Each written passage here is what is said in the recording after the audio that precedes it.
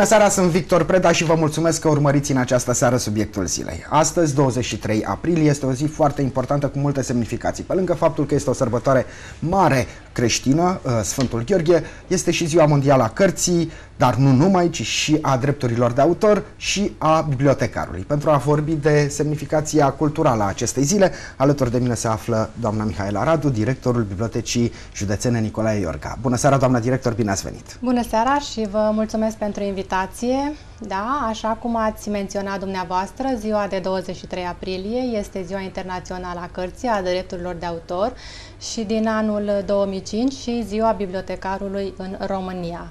Este o zi cu mare semnificație pentru profesia de bibliotecar, care este una foarte frumoasă, Uh, nu pot să spun ușoară și alături de aceste semnificații are și semnificația religioasă, Sfântul Gheorghe, ocrotitorul, ocrotitorul naturii și al naturii verzi mai ales și al animalelor. Doamna director, o să fac o glumă uh, care nu cred că o să vă placă, dar eu zic să ne bucurăm de această zi, pe lângă uh, partea creștină, religioasă a sărbătorii, dar să ne bucurăm de Ziua Mondială a Cărții atât cât mai putem, că probabil că peste câțiva ani vom sărbători, nu știu, ziua tabletei, ziua laptopului, ziua calculatorului sau, de ce nu, chiar a televizorului. S-ar putea, dar eu cred că totuși faptul că au fost decretate de UNESCO și de Guvernul României pentru Ziua Bibliotecarului, aceste date nu vor fi niciodată șterse din calendarul uh, Așa să, fie, așa să fie și să uh, ne bucurăm de ziua cărții și a bibliotecarului și a drepturilor de autor de acum încolo multă, multă vreme și să se bucure și copiii și nepoții noștri pentru că, iată, cartea ne-a însoțit uh, toată viața și pe noi și pe părinți și pe bunici și generații multe în urmă, să sperăm că și generații multe de aici înainte. De aici Să dea Dumnezeu. Așa este. Doamna director, uh, dacă vorbim despre carte, eu cel puțin prima imagine care îmi vine în fața ochilor este cea a bibliotecii uh, Nicolae Iorga din Ploiești. Recunosc că am fost și abonat în copilărie și adolescență, în fiecare duminică, cu sau fără tatăl meu de mână, veneam la bibliotecă, aduceam cărțile, luam cărți noi și uh, așa mi-am petrecut o bună parte din copilărie și din adolescență. Poate uh, acesta este motivul pentru care atunci când vorbesc despre carte mă gândesc prima și prima dată la Biblioteca Nicolae Iorga, dar uh, pentru că vorbim de carte și sărbătorim, iată, și biblioteca și bibliotecarii, colegii dumneavoastră, care este istoria acestei biblioteci? Eu știu și mi se pare așa un lucru uh, care sporește uh, sau care adaugă o notă de pitoresc la istoria uh, bibliotecii, faptul că în momentul în care a fost înființată, primul sediu a fost la Baia Comunală Lumina. Așa este, da. În 1921, când a fost înființată, biblioteca a funcționat în sediul băii municipale, baia publică, spus. Baia publică, uh, da. Așa, în vremea respectivă. Uh, de-a lungul timpului a suferit câteva modificări datorită războiului, al doilea război mondial, cu tremurelor, dar din 1948, uh, de când s-a mutat în sediul Palatului Culturii, uh, creșterea, dezvoltarea colecțiilor a fost destul de vertiginoasă, să spun așa.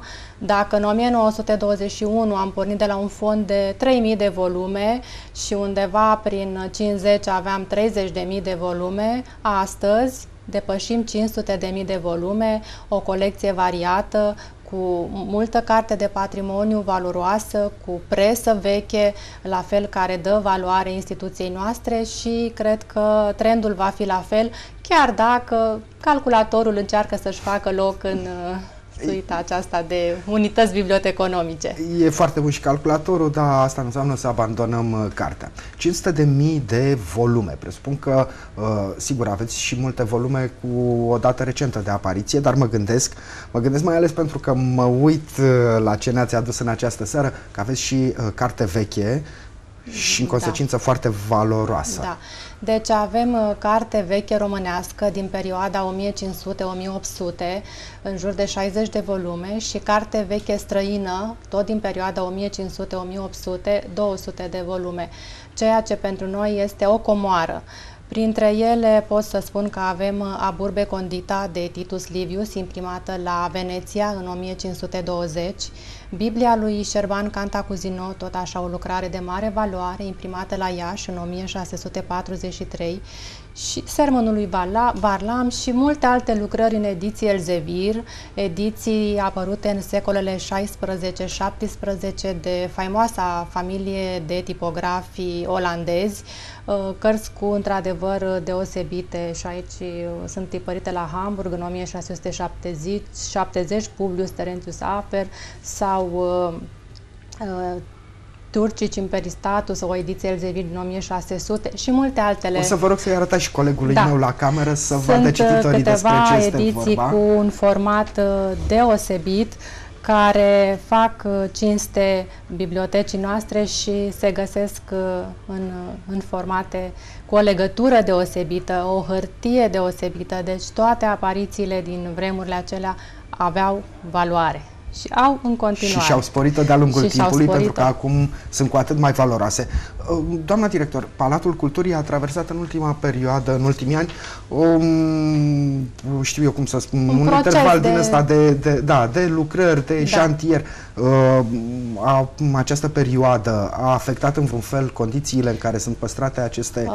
cărți rare, vechi și în consecință foarte nu, valoroase? deci indiferent dacă ele au fost mutate dintr-un loc în altul, noi am uh, mers pe ideea de a le păstra așa cum trebuie și le-am uh, oferit condițiile de umiditate, temperatură și tot ce a însemnat uh, paza lor, așa cum uh, am respectat cadrul legal, pentru că ele sunt de valoare și trebuia să le păstrăm așa cum sunt. Doamne ajută, în ciuda anilor da. de șantier, parcă nu se mai termină odată da. lucrările da. uh, și câteodată ca să ajungi la secția de copii au fost momente da. așa, printre schele, uh, așa uh, nu tocmai plăcut, dar acum nu dar, mai e chiar uh, așa și lucrurile E bine că a fost, odată că avem și ce povesti și în al doilea rând faptul că astăzi secțiile arată foarte bine, cu mobilier nou, spații luminoase, uh, dotate corespunzător, ceea ce a trecut peste partea grea a consolidării structurii Palatului Culturii. Secțiile. Despre ce secții vorbim, doamna director?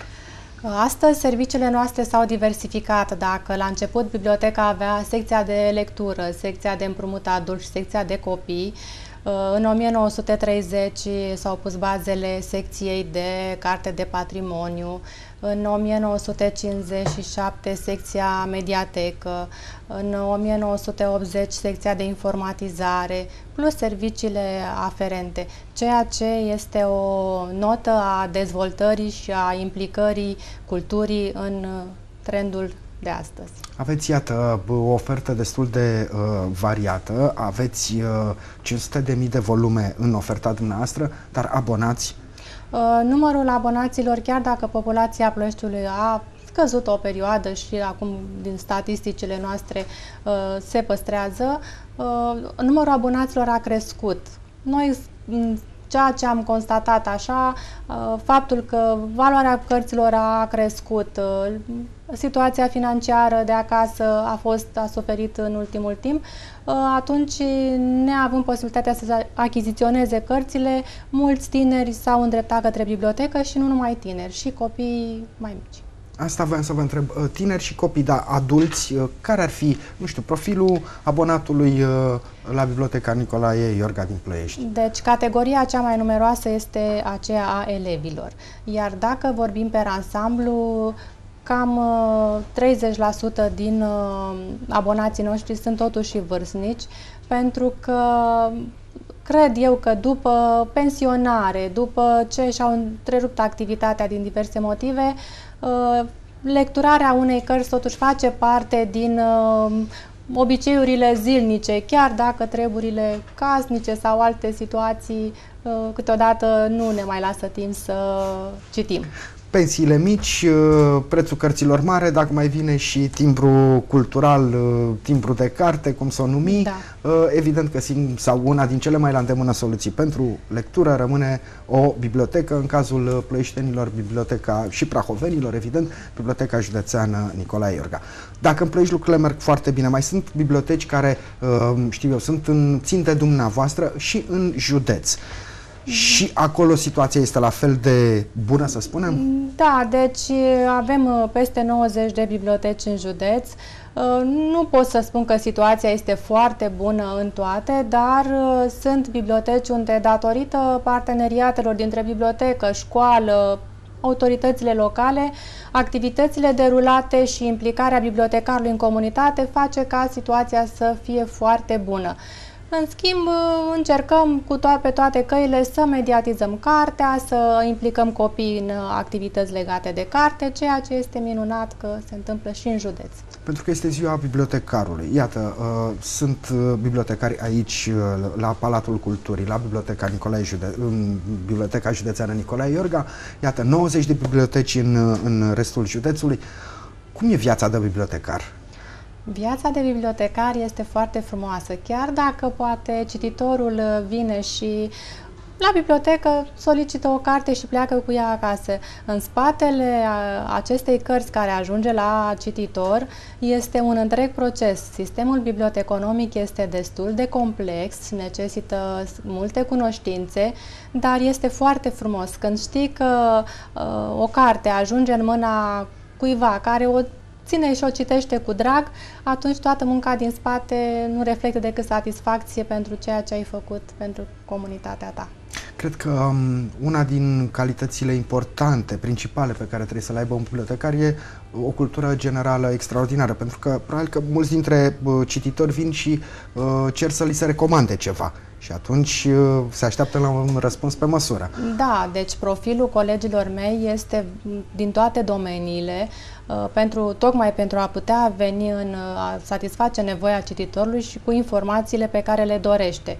Și atunci avem colegi care sunt scriitori, colegi care cunosc limbi străine, profesori, colegi care au facultăți de istorie, geografie, deci din toate domeniile, tocmai pentru a satisface nevoia cititorului.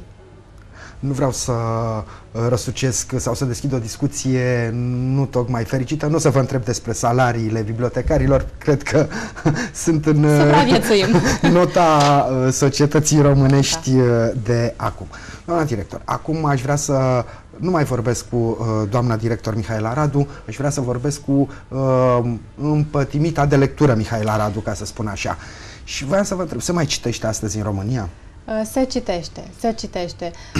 Eu o să mă joc de pesimistul și o să vă spun că nu prea se citește. Deci, uh, n-ați fost la uh, Bookland, la activitatea care s-a desfășurat o săptămână în județul Prahova, unde am avut um, parteneriat inspectoratul școlar și s-au derulat, v-am spus, pe o săptămână întreagă activități. Copiii au fost foarte interesați, s-a vândut multă carte, deci eu vă spun că se citește.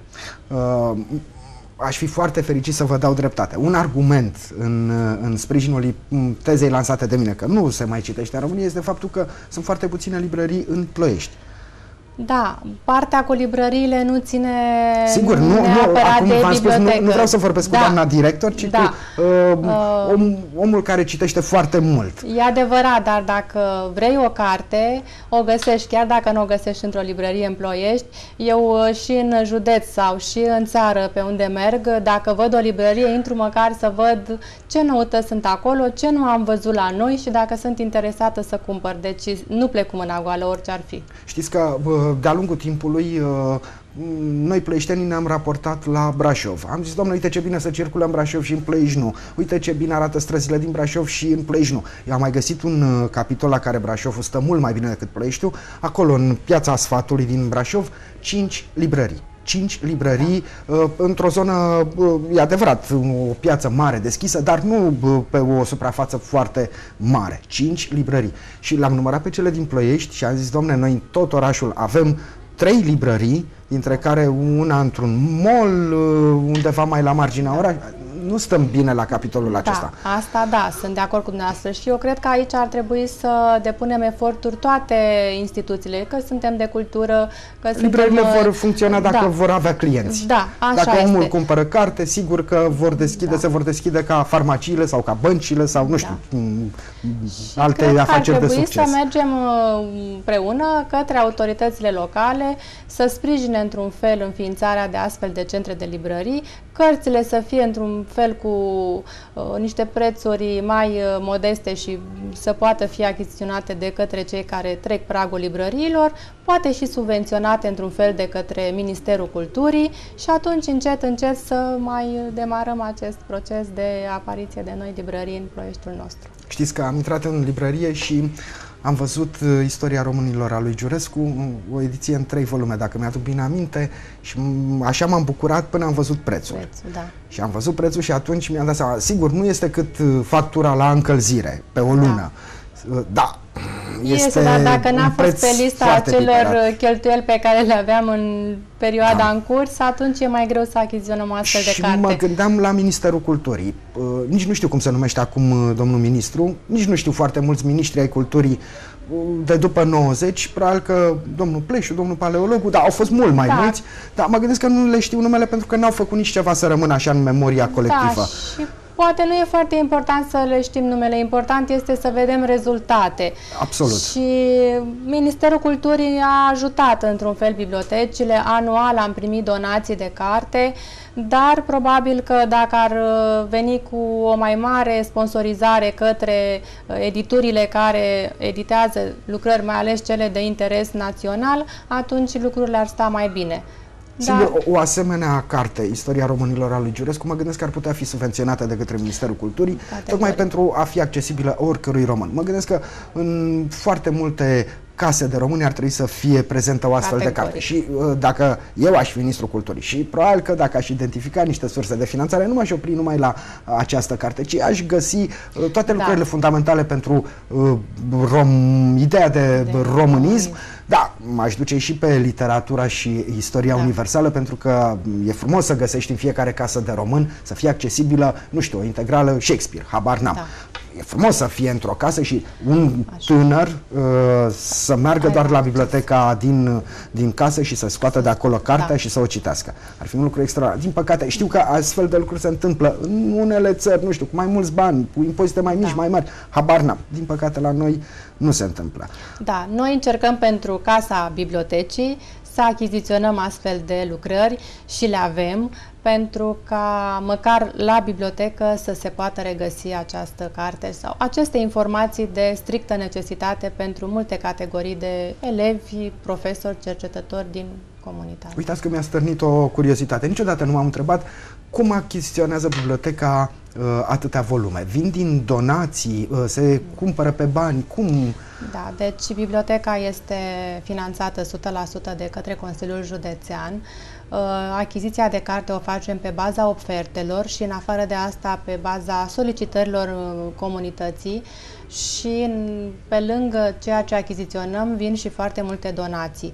Uh, atât editurile din Ploiești cât și edituri din țară trimit pentru depozitul legal numit așa conform legii, măcar câte un exemplar din ceea ce editează, ceea ce este un lucru minunat că se întâmplă și este într-un trend foarte bun Uh, acest, uh, această primire a cărților de la edit, edituri și uh, încercăm pe toate căile să avem tot ceea ce este nou, tot ceea ce este solicitat.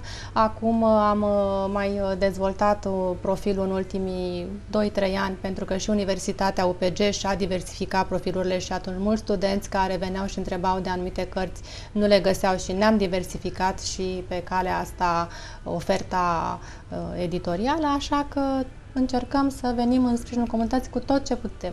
Persoanele fizice fac donație de carte? Da, da, sunt foarte multe persoane fizice care vin, ne ducem, selectăm ceea ce ne avem, selectăm ce vrem să înlocuim și tot timpul cartea de la persoanele fizice ajunge. Iar ceea ce este surplus, ducem la bibliotecile din județ. Să aibă, să da. fie și acolo rafturile da. pline și să da. găsească abonații tot e ce păcat, pentru că altfel uh, sunt oameni care poate se mută, rămân singuri și nu mai vor să aibă atâta carte în jurul lor și e minunat când vin în, uh, către noi și noi ducem cartea mai departe în județ la bibliotecile care au lipsă de astfel de cărți.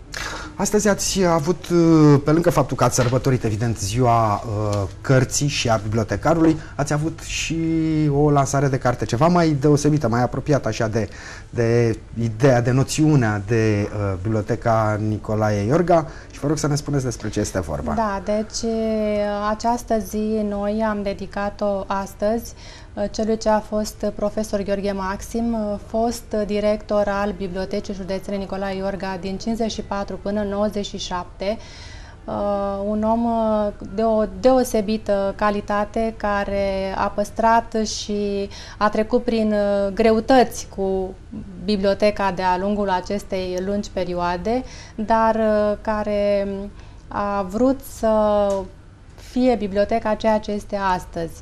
Și avea o lucrare, Nicolae Iorga, om al cărții și al bibliotecii, începută încă din timpul vieții pe care tragicul deces uh, nu l-a lăsat să o termine și împreună cu colectivul de colegi ai mei am uh, considerat că este foarte frumos ca omagiu pentru ceea ce a fost dânsul pentru Ploiești să finalizăm această carte.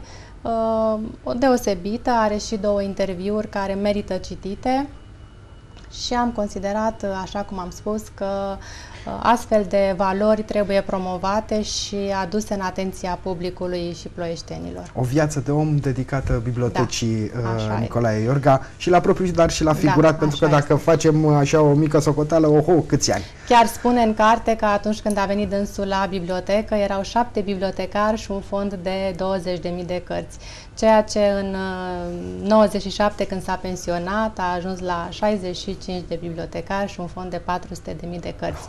A fost minunat ceea ce s-a întâmplat pe parcursul acestei lungi perioade de timp cât a fost bibliotecar și director. În aceste vremuri uh, nebune pe care le trăim, uh, așa să lucreze cineva atâția și atâția zeci de ani da. într-un singur loc de muncă pare de neimaginat da. și ireal. Așa este. Dar extraordinar. Așa este, dar și-a dedicat, chiar spune și în carte, biblioteca a fost o adevărată, o a doua familie, care i-a dat atenție ca și familiei personale. Doamna director, nu mai avem chiar foarte mult timp la dispoziție și uh, mă gândeam, am văzut, uh, am citit în presă, am văzut și la televizor și pe internet, uh, în, alarmați, să spun oarecum, de uh, lipsa de interes față de carte care se manifestă, vrem, nu vrem, asta este situația, nu știu, calculatorul, televizorul au câștigat foarte mult teren, în, în, peste hotare sau au încercat să facă tot felul de acțiuni să scoată biblioteca în stradă, să spun așa. Și vreau să vă întreb dacă v-ați gândit, ați da, am, creionat un astfel de proiect. Am mai avut o inițiativă cu câțiva ani în urmă. În prezent se mai desfășoară astfel de activități și în alte localități din județul Prahova, la Poiana Câmpina, de exemplu, dar și noi în această nouă ediție a cursurilor de vară care va începe în perioada vacanței anul acesta, avem în plan ca o zi sau două pe săptămână, în, în timpul prânzului, să mergem în parc în fața Palatului Politico-Administrativ cu cărți și copiii care vin cu bunicii, cu părinții și se joacă să aibă în față și o carte să le distragem un pic atenția ca a doua zi să nu mai vină doar la taraba din parc și să vină la bibliotecă. Da, și uh, dacă îmi permite, permiteți o sugestie, poate extindeți un pic și în parcul Nikita Stănescu. Acolo sunt bănci, da. uh, probabil că... Da, și în parcul Nikita Stănescu și vom, oameni dornici de lectură vom și mai extinde. Dacă vom avea, vom vedea că copiii sunt acolo și noi vom fi alături de ei și în alte parcuri ale Ploieștiului. Vă țin pumnii să vă iasă această acțiune, că e chiar vă ceva frumos, frumos și deosebit. Doamna director, vă mulțumesc și vă doresc uh, dumneavoastră și colegilor dumneavoastră la mulți ani și să rămână Biblioteca Județeană Nicolae Iorga, Mult. ceea ce este acum un reper așa de cultură este. și de lucru bine făcut până la urmă, pentru că oricine vine la bibliotecă își dă seama de acest lucru. Și cât mai mulți, cât mai mulți uh, abonați, pentru că asta ar însemna că sunt Cartea din ce în ce mai mulți oameni care citesc și care uh, o carte citită reprezintă o nouă viață. Precis, un diamant adăugat acolo în uh, șirul de diamante pe care le-au citit până acum, să Absolut. spunem așa. Pentru Absolut. mine așa sunt cărțile, diamante de hârtie. Așa este. Vă mulțumesc tare mult pentru prezență și pentru informațiile pe care le-ați oferit uh, telespectatorilor noștri. Vă doresc încă o dată la mulți ani dumneavoastră și colegilor dumneavoastră și din ce în ce mai mulți abonați. Vă mulțumesc frumos și doresc și eu la mulți ani tuturor bibliotecarilor. Vă mulțumesc și dumneavoastră că ați fost alături de noi în această seară. Ne vom uh, revedea săptămâna viitoare, luni mai precis, la subiectul zilei. Până atunci, toate cele bune!